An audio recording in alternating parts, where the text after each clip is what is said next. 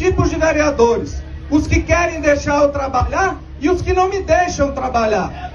Quando as máquinas, quando as máquinas estiverem passando na chácara Itapiracó, perguntem se o vereador de vocês é o que assinou a CPI para não me deixar trabalhar ou se é o que me deixa trabalhar. E eu falo isso por onde andar na cidade de São Luís. Sabe por quê?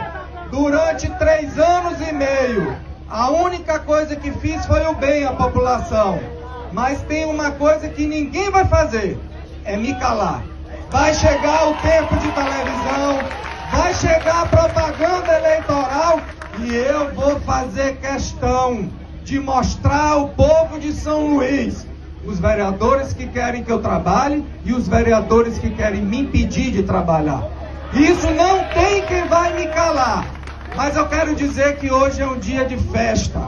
Um dia para que todas